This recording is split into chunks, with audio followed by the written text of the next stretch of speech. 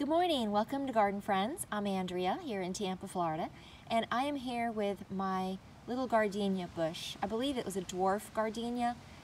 Um, I, I killed it actually, um, the host plant about two years ago. I loved it too much. I don't know very much about the, the specifics of what a gardenia needs apparently. But before it died, I took a couple of cuttings and I've grown them and now they are blooming. Um, he, those cuttings are two years old. It's not very large. It is a dwarf variety, so it wasn't going to get very large to begin with, but I think if I put him in the ground, it might have a little bit more success.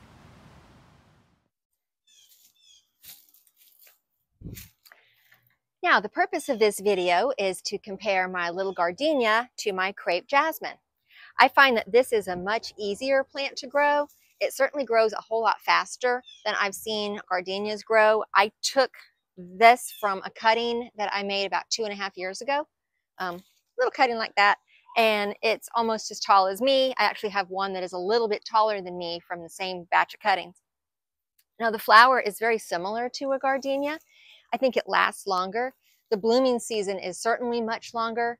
It doesn't smell like a gardenia, but it does have a pretty fragrance. And it's very, very um, prolific with its blooms. It just, it, it, covers itself with the white flowers. It really is very pretty. Um, standard fertilizer, um, some bone meal if you don't have dogs running around that want to eat it up. Uh, I, I put some Epsom salts to keep my leaves green and my blossom booster to encourage these blooms.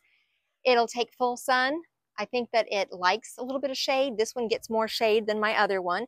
They look about the same. This one's a little bit smaller. That's the only difference that I can see with the shade that this one gets. But it, the leaves are a beautiful color and it is covered in, in blooms. It really is a very, very lovely plant.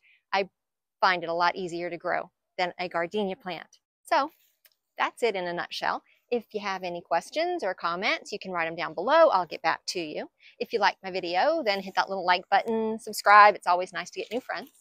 And I hope you will consider adding a crepe jasmine to your landscape. It really is a beautiful plant to grow. It's very easy here in Florida and it'll make you happy. So thank you for watching and you keep gardening.